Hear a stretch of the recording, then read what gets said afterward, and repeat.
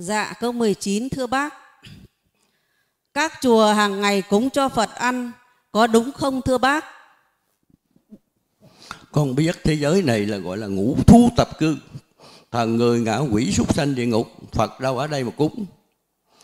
Phật ở trong này mọi người toàn năng, toàn giác, ta về Phật giới rồi không dám vô đây đâu. Ta ở đây ta sợ rồi, ta chạy ra.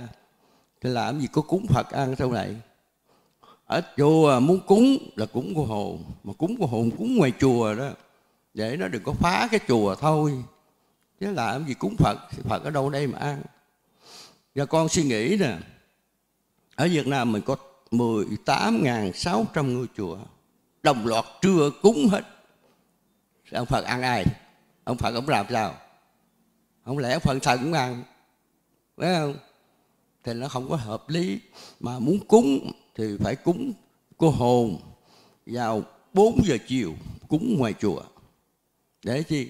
Năn nỉ sau mấy ngày đừng có phá chùa để cho chùa tôi làm ăn, chùa tôi tu.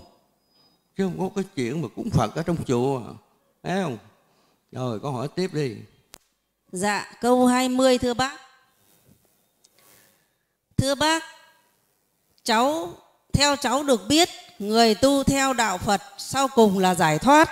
Cớ sao đến các chùa hỏi công thức giác ngộ là giác cái gì? Không chùa nào biết được. Vậy các chùa cất ra để làm gì thưa bác?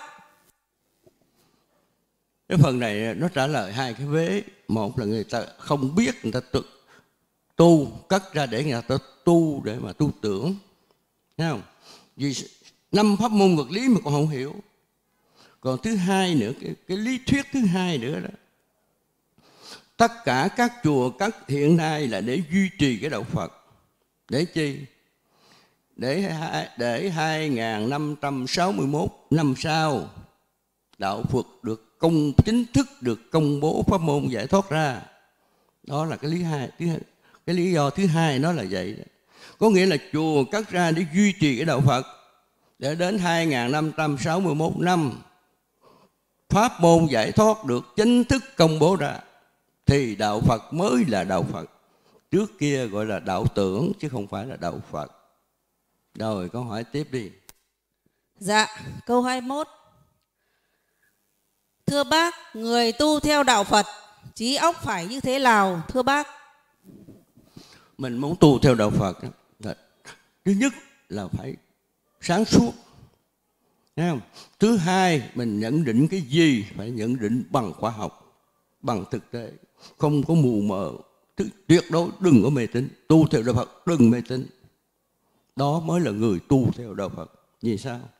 Đạo Phật là đạo giác ngộ, mà giác ngộ này là toàn giác.